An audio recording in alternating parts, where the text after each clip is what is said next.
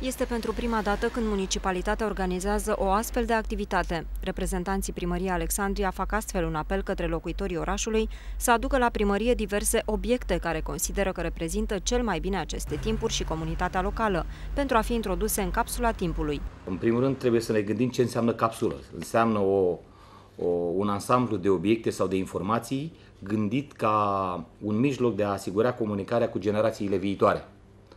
Uh, comunicare cu generațiile viitoare care înseamnă modalitatea de a le transmite ceea ce se întâmplă în acești ani, în această perioadă, în municipiul Alexandria.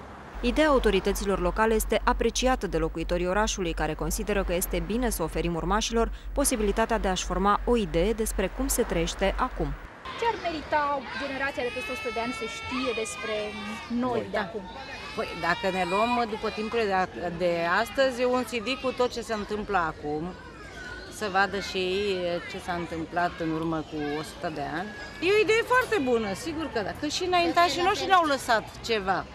Ne-au lăsat și, în general, ne-au lăsat scris. Păi aș pune un tricou,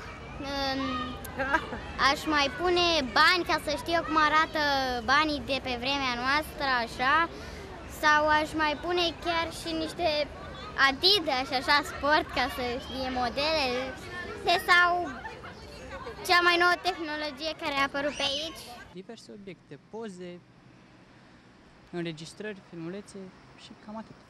Cei care doresc să transmită ceva viitorilor locuitori ai orașului trebuie să aducă obiectele respective la primărie până pe data de 22 august. O comisie va evalua care dintre aceste obiecte vor fi introduse în capsula timpului, care va fi îngropată în parcul din fața primăriei pe 29 august, în prima zi de sărbătorire a zilelor municipiului Alexandria.